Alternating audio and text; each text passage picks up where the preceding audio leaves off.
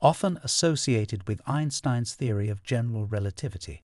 Spacetime is a fundamental concept in physics, which combines the three dimensions of space, length, width, and height, with the dimension of time, bringing them together into a single four-dimensional framework.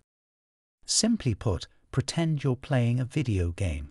In the virtual environment of the game, you are in charge of a character with multiple directions of movement. Consider space to be the game's three-dimensional world at this point. Within that area, you are free to travel forward, backward, left, right, up and down. You actually experience time whilst you're traveling through the game's space. During the character's movement throughout the game's space, time allows the events within it to unfold and change and develop. Time is like the progression of the game itself, from the start to the finish. It monitors the time between certain occurrences and gives your character the ability to act. Now put these two elements, space and time, together.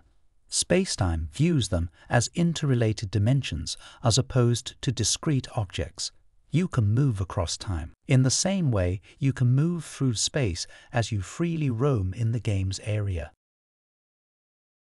According to the theory of spacetime, the universe is made of a four-dimensional structure with deep connections between space and time. Massive things like planets or stars bend or warp the fabric of spacetime in this unified framework.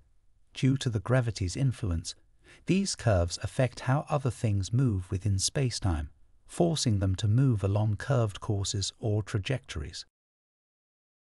In conclusion, spacetime is a framework for understanding the cosmos that combines the dimensions of space and time into one cohesive whole.